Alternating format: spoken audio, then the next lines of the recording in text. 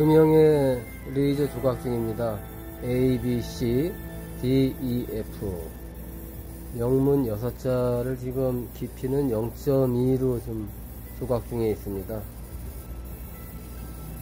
어, 폰트 크기는 지금 뭐 0.5mm, 0.5mm 정도 되는 것 같네요.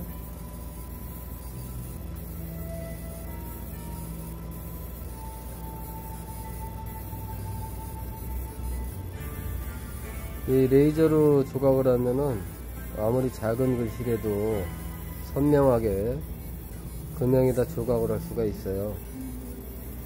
0.5파이 되는 바늘 같이 생긴 밀핀에도 어, 그 안에다가 숫자라든지 영문을 레이저로 각인을 할 수가 있어요. 지금은 어, 슬라이드 금형 부품 중에서 이제 여기 이제 슬라이드라고 하는데요. 여기다가 지금 조각 중에 있어요.